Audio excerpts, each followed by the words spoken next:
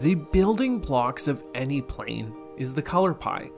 And across the multiverse, there's always a fine balance of these colors, with no one color truly overpowering the others. You could say that this is rooted in gameplay reasons, as we wouldn't want a set with 80% white cards, and yet I would say it's something far more important to the identity of any given plane. You see, it's this perfect balance of colors which hold the color pie together, and without this balance, things start to get really weird. Sure, I've spoken about colors feeling stronger on some planes, like that of black seeping into much of Amonkhet, or how we've seen an odd divergence of the typical color pie with places like the Shards of Alara. But what I'm talking about today is something far more drastic.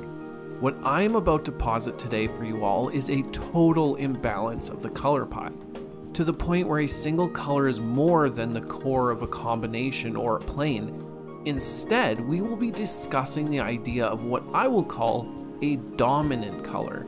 This dominant color will be of such a presence on the plane that the other colors must bend to its gravitational pull, or be crushed by it. I hope you're ready to do a bit of a thought experiment with me as I intend to illustrate this phenomenon by creating examples of five planes where one color has vastly more control than any of the other colors on it. We will see what effect this has on allies of the dominant color, and more importantly, how this affects enemies of that given color. Before we do that though, I just want to say thank you to my patrons for their support in these mad endeavors of mine. It truly means a lot. Consider becoming a patron today and support the content you love while gaining perks along the way. I want to start the experiment off with a plane dominated by white mana. We know that if white had its way, it would pull everyone under its banner, and on a plane where it's the dominant color, it gets its wish. This primarily white mana plane is one controlled by a single governing body spread across the entire plane. It's a theocratic monarchy, one who rules through order and strict laws and have nearly rid the plane of its chaotic elements. And by chaotic elements, I mean black and red. In this world, red has been subjugated and relegated to working camps where they can be kept in check and made useful to the rest of society.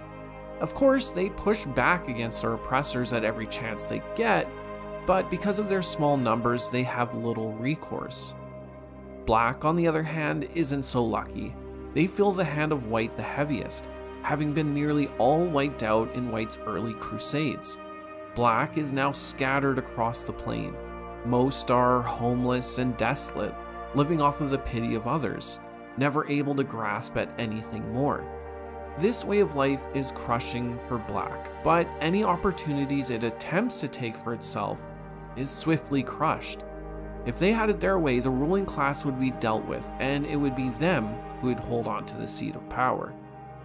As you can see, white has no time for its enemies in its perfect world.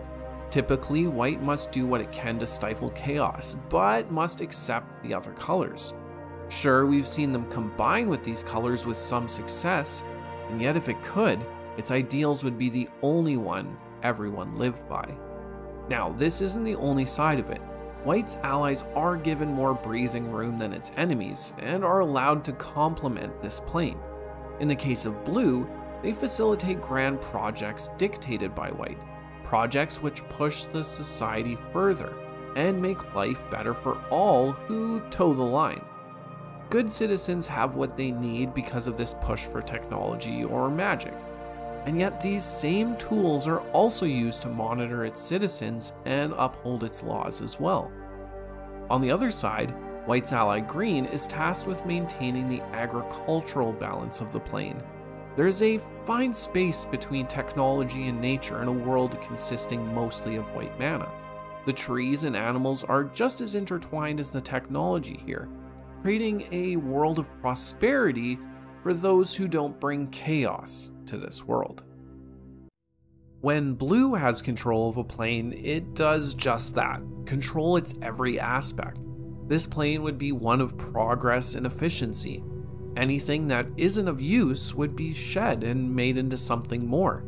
This would stifle art and wasteful activities, and yet the trade off would be the valuing of knowledge and progress above all else.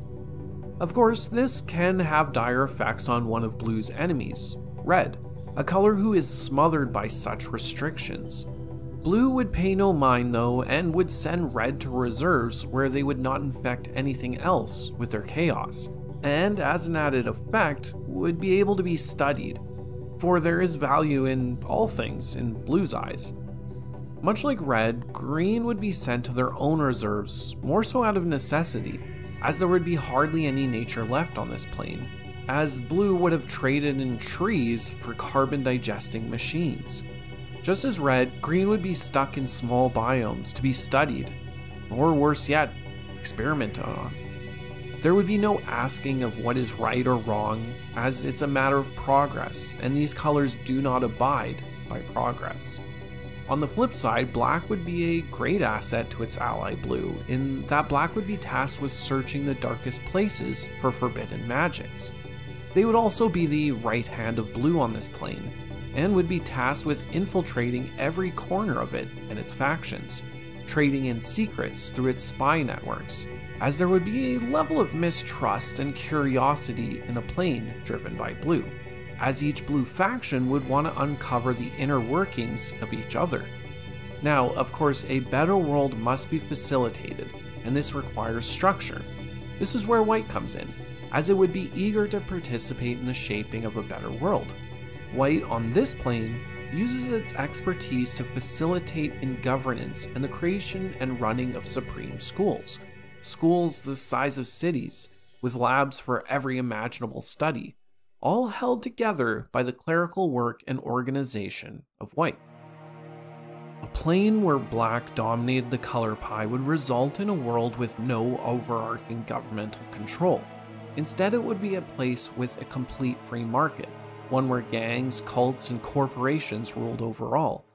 Any conceivable law would be always overridden by profits and power, while this would be detrimental to many citizens, it would benefit the few clever enough to grasp for greatness. In a plane like this, Black's enemies would struggle to survive. Green would find all of its resources plundered. Forests would be clear cut, ores stripped, and water polluted. Green would be forced to find a place in this desolate world where they could foster some semblance of growth. But even this would be futile as the constant pollution and little care for the environment would turn the plane into a shell of what it once was. With White, the story's a little different. White would attempt to make communities where it could, aiming to find structure in this lawless world. These communities would be for those who reject the corporate greed of the plane and instead want a simple life of moral purity. They would stand in stark rejection of what the rest of the plane was. Fortunately for them, they would often find their communities raided and destroyed for nothing more than the joy it brings to black and red mana.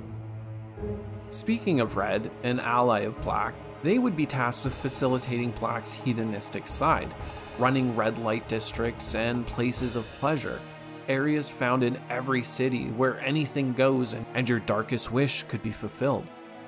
On the other side, we would have blue. This color would be heavily involved in the corporate side of things, aiding Black by collecting as much data as they could on each group and citizen. For Blue, information would be a currency it would exchange for the freedom to do its own research. In a world populated primarily by red, there would be very little to no structure. It would be a plane with small tribes or colonies scattered about.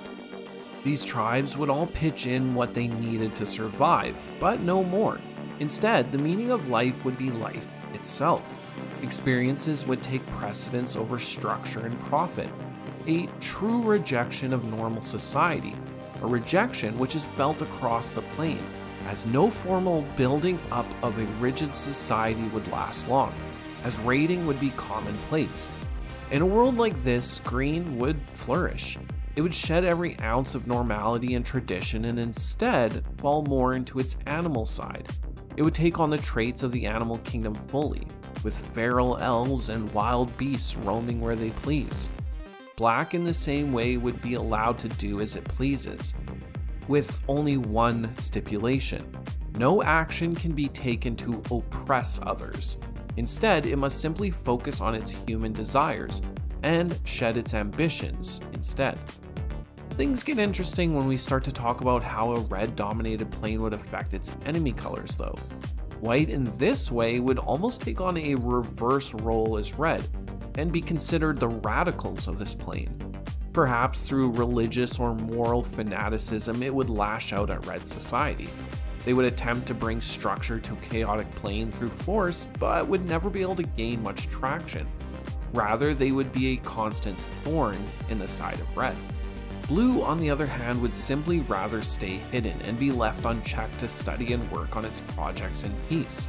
No lasting project would be safe, and so they would tend to lean into magic instead of technology, becoming masters of illusions and any other manner of staying hidden, so that they can be left alone to uncover the secrets of the plane. Green, when dominant, unchecked, and undisturbed, would grow rampant across the plane. The plants and animals would reach their full potential here. The jungles would be thick with life, and the humanoid inhabitants would be second to the world around them, living nomadic lifestyles with no permanent shelters. The closest thing to civilization would be what space white is allowed to craft. Once again, nothing taking away from the land, everything must be integrated into it. They would craft small communities in the canopies and caves, their laws would be orally handed down and based in those provided by the animal kingdom, not that of human design. White would have to sacrifice structure, but could find peace and purpose in this life. Red, on the other hand, is left to roam free, running through the jungles, surfing on the seas, and laying on the open grass of the plains. They have no worries and no thought, and would descend deeper into their animal side. With wild paint and bare skin, they would be free. Now, while these colors are allowed their freedom, there are other colors who must be kept in check so that they do not take from the land or try and warp it into something else.